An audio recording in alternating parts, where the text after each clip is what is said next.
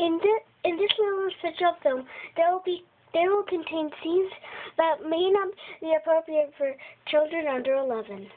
Thank you.